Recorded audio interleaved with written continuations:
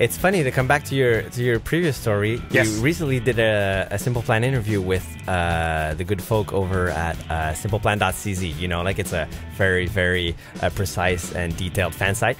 Uh, they have. Um, yeah. Oh, yeah. Very Yeah, good. yeah, yeah. I, I like your set list right there. Yeah. But that's what that's what that's what happened. I think I think uh, three four years ago I was going through a box and I took a picture of one of our very first uh, set list and there was a song called Airport on it Yes. and there was a song called Tananana and right away the, the interview started with okay so there's two songs by you guys that we've never heard I, they were on a picture that Seb set list blah blah blah so she comes back and she's like how come we've never heard those those songs We're like actually you've heard them because Airport is one by one which was Yeah. a B side off I think the first album at some point Okay. and then Tananana was Crash and Burn, which was on the Live in Anaheim DVD. Yes, one of my favorite songs. One of my favorite Simple Plan songs ever. That's amazing. Yeah.